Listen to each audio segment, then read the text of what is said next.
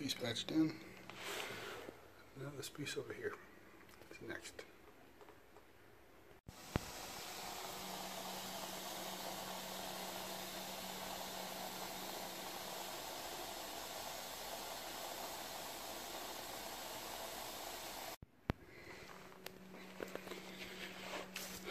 Okay, now this is patched in. I just have to wait for it to cool off so I can take it off of there and then I will put everything back in place and show you what it looks like when I'm done.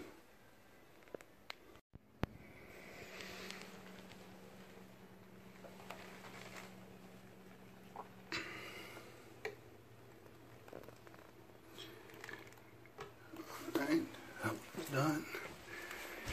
And